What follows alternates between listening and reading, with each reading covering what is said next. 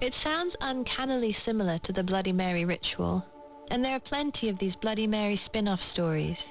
Kate Cowan remembers a student filling her in about a more recent one. Seems to be a sort of another Bloody Mary version called Blue Baby, which they said you know, very spookily, you have to be pretending to rock a baby in your arms and say blue baby over and over again. Then you feel the heaviness, but you need to do it in the toilet. And then if the baby cries and the mother shows in the mirror, and then you need to flush the baby down the toilet. And if you don't, the mother kills you. I asked where she learned it. She said she found it on YouTube. The internet is now the source of lots of other playground folklore.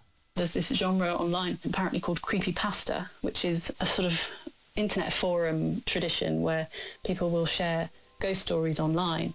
One of the things that they described to us was this game Charlie Charlie. You've probably heard of using a Ouija board to contact spirits. But I bet you haven't heard of using pencils to have your questions answered by supernatural beings. You have to arrange two pencils on top of each other and write in, in quadrants underneath